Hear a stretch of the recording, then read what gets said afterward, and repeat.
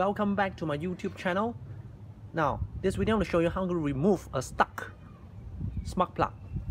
Now I've removed the clip and then the 8mm nut. When I pull it out to my surprise the head is very much cracked okay? But what happened when I try to plug in the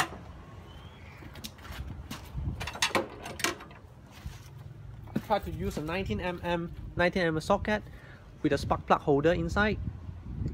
Okay I try to uh, turn on it. It just can't oh, it just can't uh, remove that. And then I gotta look inside the hole. So I use a long long nose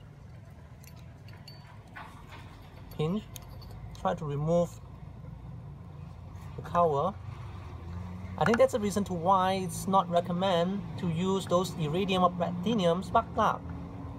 It sits here for so long it sits here for more than two years and I have no idea this thing has actually broken off.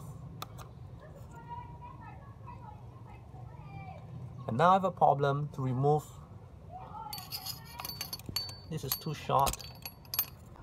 When to remove it you use a hook hammer it you don't want to do it in a hole but instead you apply in the middle or the other half. Maybe this end. And you don't want it to be too long so you can't control it. But with some luck. Okay put in and then pull it out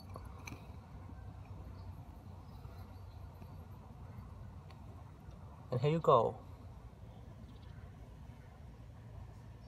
So this is how I remove the broken o-ring by using a handmade